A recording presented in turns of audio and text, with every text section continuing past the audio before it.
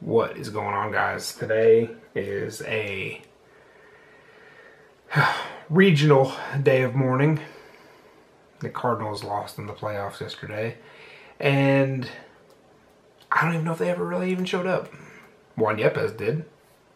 Um, Pujols and Yadi wrapped up their careers getting swept in the wild card series.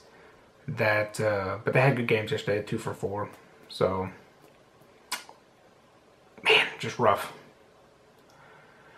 Just rough. The uh, Blue Jays just got swept, so the Mariners are moving on. That's fun. And uh, the Indians, so will not, I will not call them the Guardians. The Indians are moving on, and it looks like the Padres might move on, which is just crazy that the Mets have just slid so hard in the last three weeks. Um,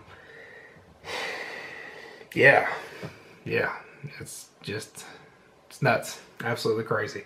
Um, I have one, two, three, four, five, five cards, five cards. That's all the time I'm going to take from you. Just a couple minutes. Um, so I'll flip the camera around, show you these five cards, and then I gotta go put the kids down for uh, bedtime. So, and then I got to go back up watch the uh, watch the Padres Padres Mets game. They're winning three nothing right now. So, all right, guys. So I have five cards. I got five cards. I'm gonna show you real quick. This the first one is uh, somebody that I PC'd last week. I showed you his uh, game used bat that I bought. Um, Kolten Wong Memorial Day 2018, number to 25.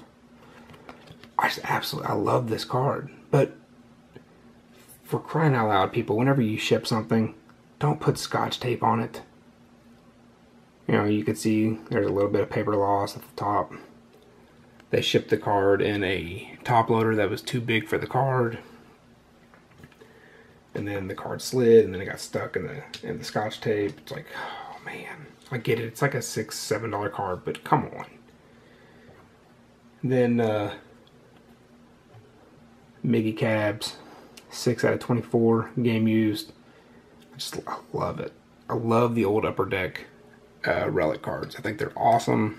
They're I feel like they're undervalued for now. Once these guys start making like once Miggy, Pujols, Ichiro, like once the generation that I grew up watching, once they make it into Cooperstown, I feel like those cards are going to start exploding in value. Um, up next, I'm a sucker for USA Baseball, but I love it. I just absolutely love it. I got this one because I love the USA with the jersey. But I feel like a lot of people don't know that Bryce Harper was a catcher. It's just I think it's awesome. And then, um, let's see. This one,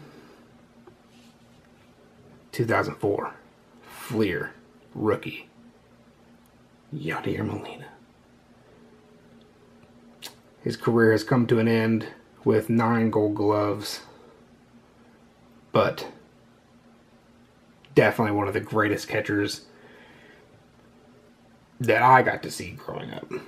He is not better than Ivan Rodriguez, but he is in the discussion for top five, in my opinion. Give me top five. Maybe. Yeah, I'm saying top five.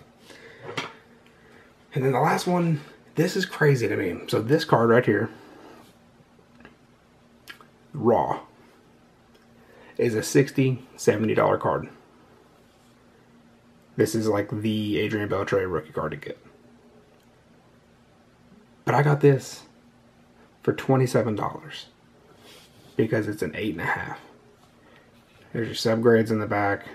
Everybody is so just fixated on grades of cards and investing. I just don't understand it. So I got, I saw this on eBay and I was like, man, I need to snatch one of those up. I might cross over to uh, PSA. I don't know, but that's that's if I'm ever in the mood to do that. Uh, It's not necessary. So, but uh, yeah, that's that's it. And that's all I really I needed to show you. Um, the Mets just lost to the Padres. So the Padres move on, play the Dodgers next week. Um, Blue Jays got swept. The only team that won the wild card series at home were the Guardians. I call them the Indians. But that's all I got for you guys today. All right? You guys have a good week. Week? What is today? Monday? Sunday? I'm all messed up. Night shift will screw me up, man. So, y'all have a good week. All right? Go cards.